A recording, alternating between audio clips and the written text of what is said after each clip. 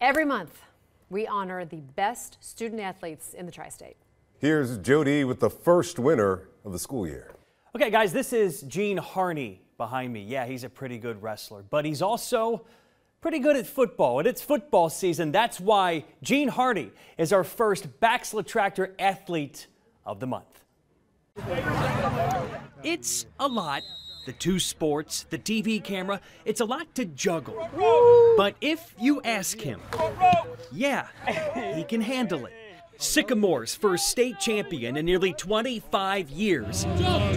His W is a win for the entire school. It's the peak of athletics, and, and in high school is to is to win the state title. We're the best team out here, I'm telling you. Surrounded by his teammates, Three, two, at one. the big man on this campus stands five feet six inches. Scrappy, I'm, I'm real scrappy and uh, probably unpredictable, and I just go 110%.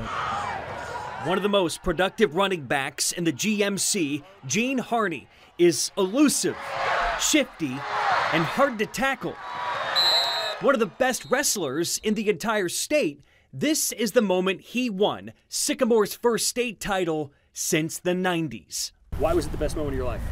It was that goal I've been ever, ever since I was little. Sycamore's had one state champion, and they were like, "You're gonna be the next one," and I really didn't believe it.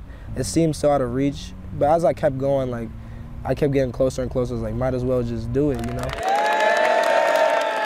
Honored as the Baxla Tractor Athlete of the Month, Gene Harney wins a plaque and a $100 gift card, a state champion who plans to wrestle in college. I've learned so much from sports. I just hope that I learn something new and I learn a life-changing thing that really gets me successful. That's really what I want. And I like the publicity a little bit, you know. I want to get out there. I want to get out there for sure. This helps with that. Of course, yeah.